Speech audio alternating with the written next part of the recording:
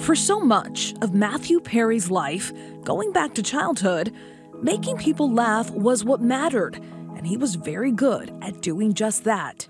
All right, when was 1990? Okay, you have to stop the Q-tip when there's resistance. As the beloved Chandler Bing on the hit NBC show Friends. I went to that tanning place your wife suggested. Was that place the sun? But it was Perry's vicious battle with alcohol and drug addiction that would define him and inspire him to help others. Perry opened up about his struggles back in 2003, his friends co stars surrounding him on Oprah as he spoke about the moment he sought help. The studio audience moved by his admission. Uh, you. You know, it, it, it, it, actually has very little to do with courage at, at, first. It's really a, it's, it's kind of a life or death kind of situation. You ultimately kind of, I guess the key word is surrender, and you, and you realize that you need help, so you finally ask for it, and you realize the Matthew Perry plan sucks. the following year, an emotional Jennifer Aniston later talked about her concern for Perry. We weren't equipped, we weren't um, to, to deal with it. You know, nobody had ever dealt with with that. And you know, at the idea of even losing him or you have to put him together but yourself. He's all right. Years later, Perry would become an outspoken champion for people struggling with addiction.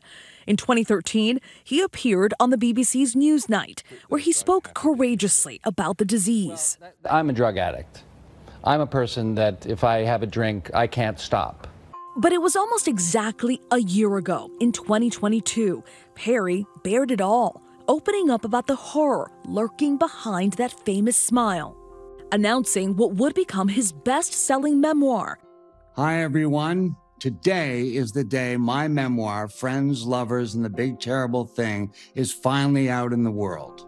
Speaking about the ravages of the addictions he suffered at the height of his fame to Diane Sawyer.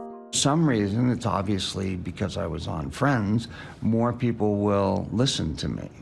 So I've got to take advantage of that. I've got to help as many people as I can. You start with a thunderclap, first page. Hi, my name is Matthew, although you may know me by another name. My friends call me Matty, and I should be dead. Yeah, that's definitely true. He traced the origins of his alcohol addiction to his teen years in Canada. I'd never drank before, and I just sort of drank this entire bottle of what was called Andrés Baby Duck. That was the name of the wine. And I lay in the grass and just was in was in heaven. And I thought that at 14. And I was doing fine this afternoon. Then in 1997, a jet ski accident while filming the movie Fools Rush In led a doctor to prescribe him the painkiller Vicodin it would be the beginning of a downward spiral, taking more and more pills to stave off withdrawal. 55 Vicodin a day, which is where I was. 55? Yeah. How did you get 55 a day? Well, I had to wake up and realize that I needed to get 55 of them, or I was going to be really sick. So I did all sorts of things. I had a bunch of doctors, fake migraines and all that stuff. I guess the weirdest thing I did was on Sundays, I would go to open houses and go to the bathrooms in the, so, in the open house and see what pills they had in there and steal them. And I think they thought, well, there's no way that Chandler came in and stole from us more than two decades, countless months in rehab, days and nights clinging to life in the hospital, multiple surgeries due to a burst colon brought on by his opioid addiction. They ran me into um, the emergency trauma room. Well, I was put on an ECMO machine.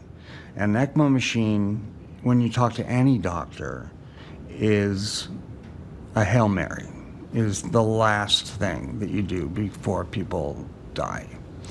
And there were five people that night that were put on ECMO machine, and I was the only one who survived. You say, addiction, the big terrible thing, is far too powerful for anyone to defeat alone. But together, one day at a time, we can beat it down. Yeah. Your disease is just outside, just doing one arm push ups, just waiting, just waiting for you, waiting to get you alone. Because alone, you lose to the disease.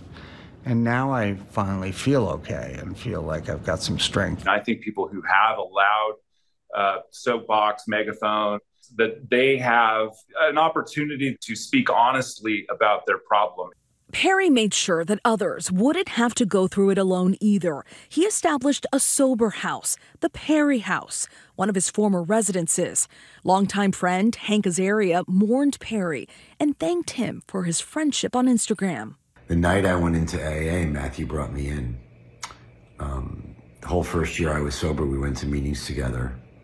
As a sober person, um, he was so caring and giving and wise, and he totally helped me um, get sober. None of us are perfect people. He certainly was not a perfect person. He certainly was not a perfect recoverer.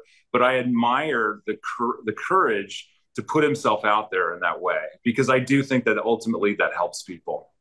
While millions around the world will remember him as the quick witted Chandler Bing, as he told the CBC's Tom Power, Perry ultimately hoped to leave behind a different legacy. The best thing about me, bar none, is if somebody comes up to me and says, I can't stop drinking, can you help me? I can say yes and follow up and do it.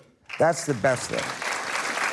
And I've said this for a long time. When I die, I don't want friends to be the first thing that's mentioned. I want that to be the first thing that's mentioned. And I'm going to live the rest of my life proving that.